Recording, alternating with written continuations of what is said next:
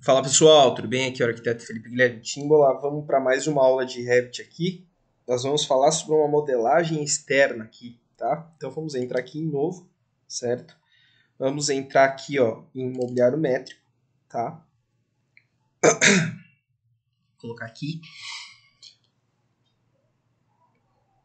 Vamos colocar aqui também comando N, tá?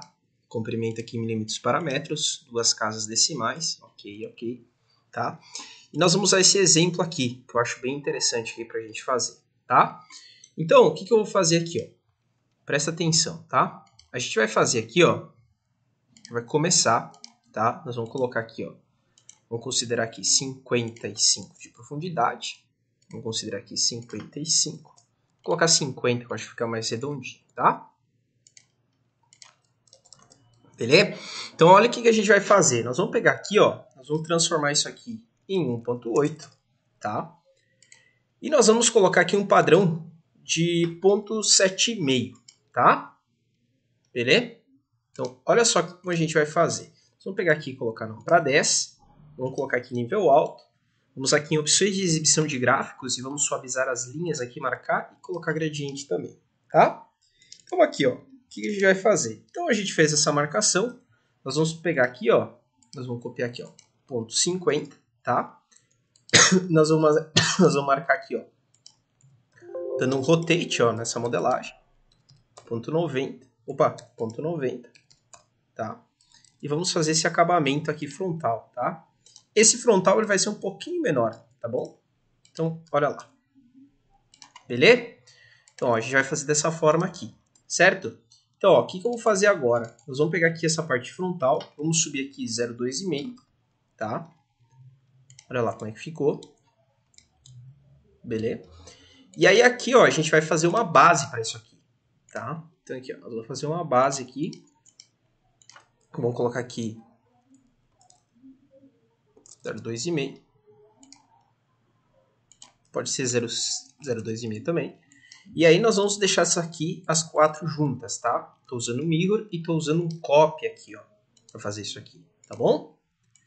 Então, isso aqui, o que a gente vai fazer? Nós vamos colocar aqui uma altura de uns 70 aqui, vamos ver. Vou colocar aqui, ó, ponto 7, tá? E aí a gente vai fazer o seguinte aqui, ó. Eu acho que nós vamos deixar isso aqui, aqui que eu acho que vai ficar melhor. Então aqui, ó, vamos colocar ponto 10 e vamos deixando uns frisos aqui, ó, um espacinho aqui, para ficar mais bonito, ó. Tá vendo? Não sei se vai ficar, eu acho que é muito, muito espaço de friso. Então nós vamos pegar aqui selecionar. Vamos colocar aqui, ó, 0,9, tá? E vamos copiar ponto 10. Acho que vai ficar mais bonito assim. Isso, vai ficar um frisinho mais bonito, tá? Então, a gente já faz essa configuração, ó. Eu vou dando um copy, porque ele fechou 10 tá? Então, olha lá, ó, vou marcar, dar um copy marcar múltiplo, ó, e vou subindo, tá?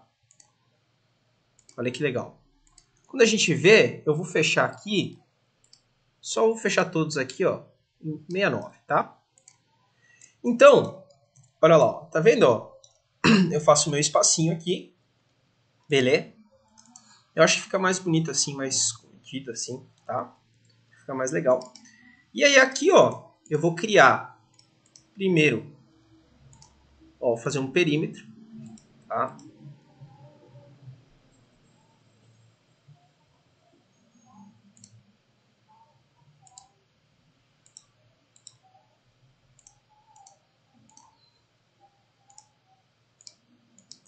Vou colocar aqui, ó, 018, tá? Pra gente ter a base primeiro. Olha lá, tem uma basezinha, certo? E aí eu vou mandar para cima também, tá? Então aqui, ó, vou dar um copy. Vou colocar aqui um ponto 60. Olha lá. Tá bom? Ó. Olha que bacana. Aqui ele ficou maiorzão. Eu não gosto assim, tá? Eu vou fazer ele um pouquinho diferente. Acho que fica mais bonitinho, tá? Então, olha que legal. Então, o que, que eu vou fazer aqui agora? Eu vou dar um copy, tá? Pro lado disso aqui. E a gente vai transformar isso aqui, ó. Eu vou colocar aqui mais um, um, um e meio, tá? Acho que um metro tá bom. Aqui. Mais um, tá?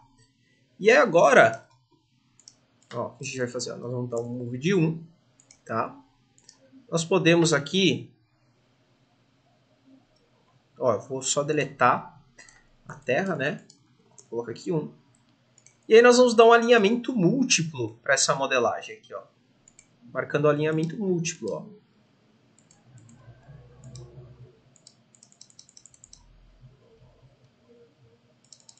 Ó, clico várias vezes e ele vai alinhar todas as modelagens, tá? Então, ó, beleza? Então aqui, ó, nós vamos deletar aqui dois montantes, ó, duas partes aqui. Ó, vamos deletar isso aqui. Vamos diminuir isso aqui. Acho que vamos tirar mais um, né? Ó, vamos colocar assim. Olha que legal. Olha que bacana. Beleza? Vamos colocar um estofamento, tá? No caso aqui é sem encosto.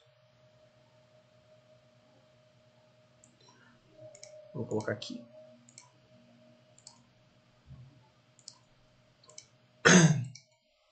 Vamos subir aqui, ó.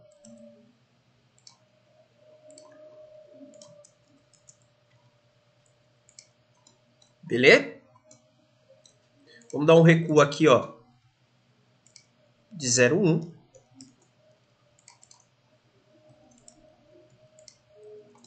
Tá vendo? E aí agora aqui, ó, nós vamos pegar a forma de vazio, varredura de vazio, vamos ver aqui definir um plano, ó. Vamos selecionar. Vamos selecionar aqui o caminho do croquis, ó. Eu vou pegar essa selecionar linhas, ó, clicar aqui em cima, tá? E aqui na lateral, ó, nós vamos simplesmente aqui, ó, selecionar perfil, editar perfil. Então aqui, ó, um e-mail.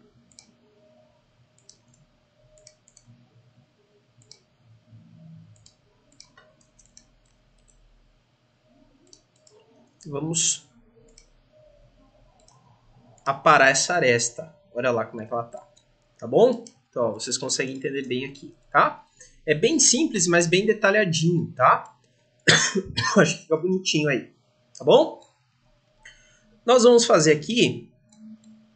Uh, eu vou fazer esse detalhamento diferente agora, tá? Vou fazer, vou fazer uma criação um pouco diferente aqui.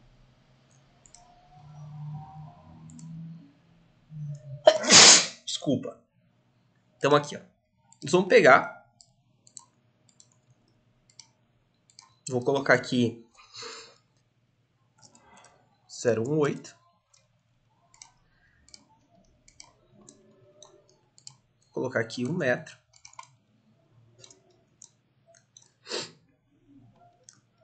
E a gente vai colocar aqui também um ripamento, ó. Então, ó, eu vou fazer um ripamento assim, tá?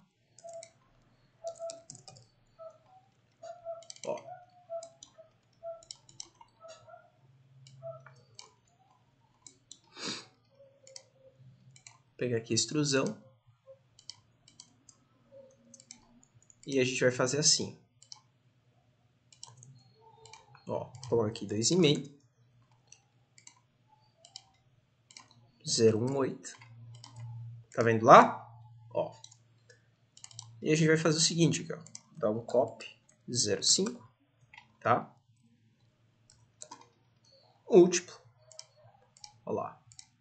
Para fechar, exatamente aqui eu vou pegar vários elementos, ó, justamente para ele encaixar aqui bem certinho com a modelagem. Olha lá, fechando bem certinho esse detalhe, ok? Olha lá como é que ficou, beleza? E aí aqui, ó, ah, tem um problema aqui.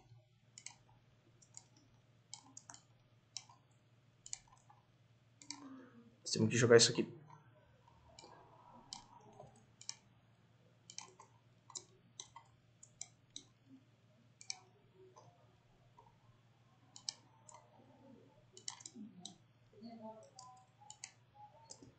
Ah, agora sim, fechou bem certinho, tá?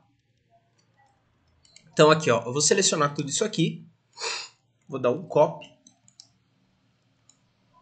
dar um rotate de 90,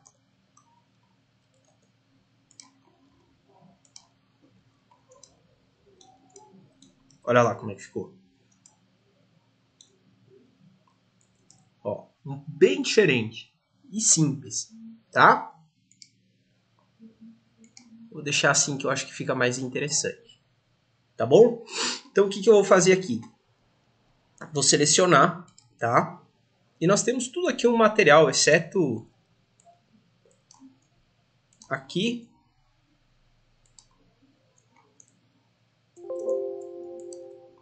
e aqui. Então aqui, ó.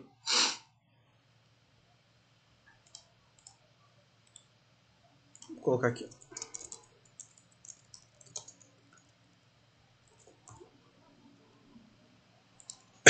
Deixa eu renomear aqui o material.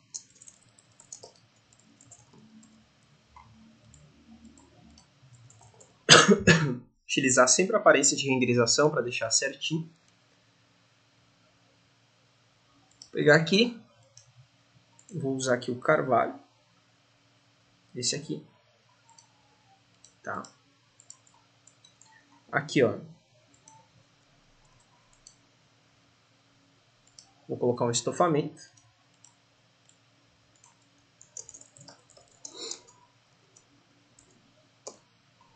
utilizar a aparência de renderização, substituir aqui o recurso,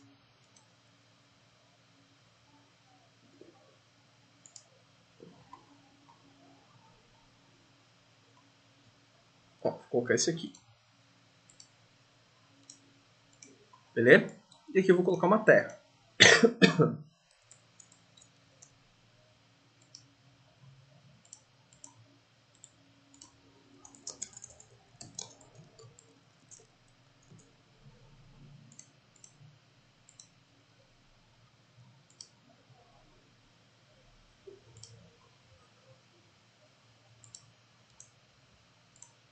Olha lá. Certo? Beleza. Então agora o que, que eu vou fazer? Eu vou pegar aqui.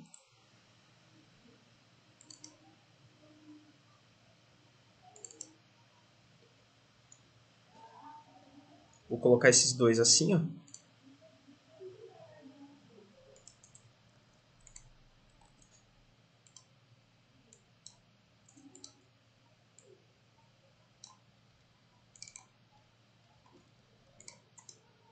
Olha lá. Beleza? E aí também vou colocar uma vegetação aqui.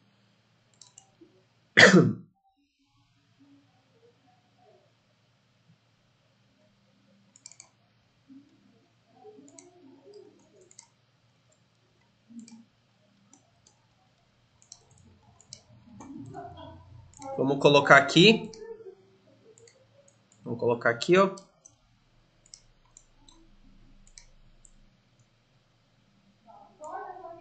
Vamos colocar aqui bem certinho.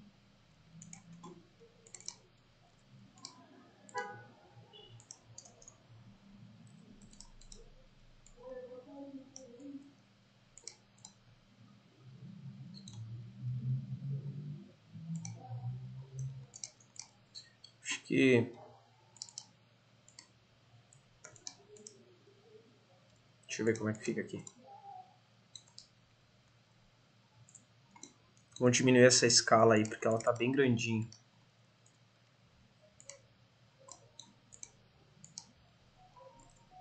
Diminuir um pouquinho mais. Ela transpassar aqui um pouco não tem problema, tá? Só vamos, eu acho que vamos colocar uma mais vertical aqui, porque senão não vai ficar legal.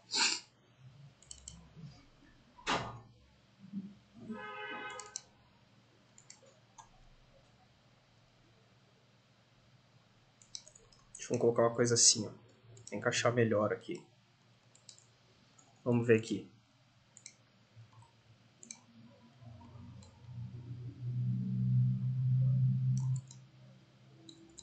Olha lá. Olha que legal. Bem simples. Bem simplesinho, tá?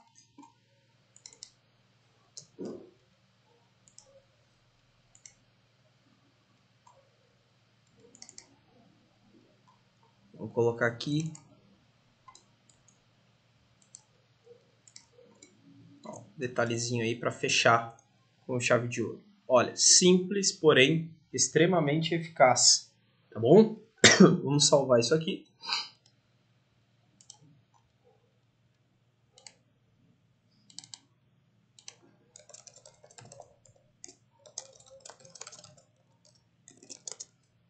Ó, vamos colocar assim. Agora, para fechar aqui certinho, ó, vamos fechar todas as abas do Revit, tá? Tudo que a gente mexeu, beleza? E aí vamos abrir um projeto isso aqui, tá? Então, ó, vamos abrir aqui um projeto. Vou pegar aqui.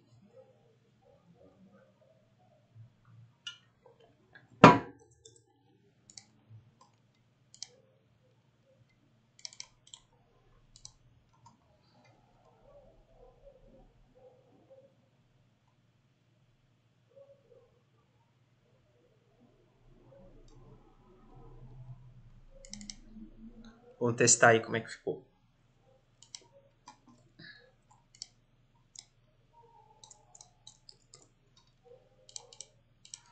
Vamos ver.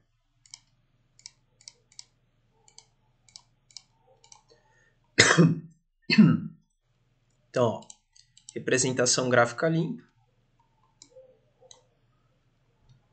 Cores consistentes. E olha como é que ficou no realista aqui. Olha como é que ficou o resultado aí. Simples, mas bem útil, né? Vamos, dar um, vamos fazer um render aqui, estilo do Revit mesmo, nativo. Vamos ver como é que ficou.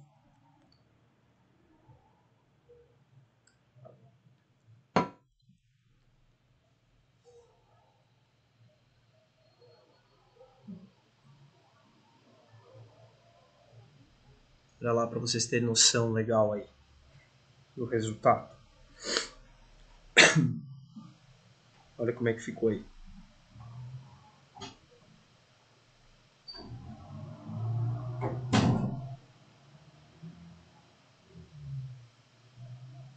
Vamos deixar renderizar um pouco.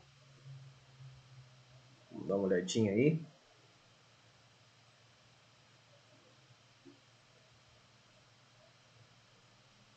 como ficou esse resultado aqui bacana você aplicar nos seus projetos aí.